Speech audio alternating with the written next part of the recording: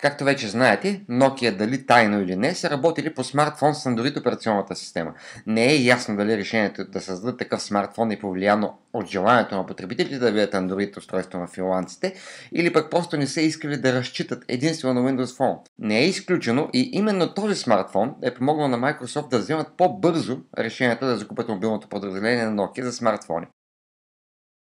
И в случай, че това е била целта на Nokia, мисията е изпълнена и сделката между Nokia и Microsoft беше финализирана. Nokia Hix е първото устройство с Android на финландците и заедно с Nokia Hix Plus и Nokia XL бяха представени в края на февруари.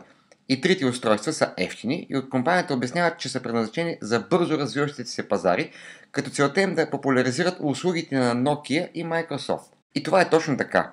Android смартфоните на Nokia с интерфейс наподобяващ много на този в Windows Phone и използва услугите на Nokia и Microsoft.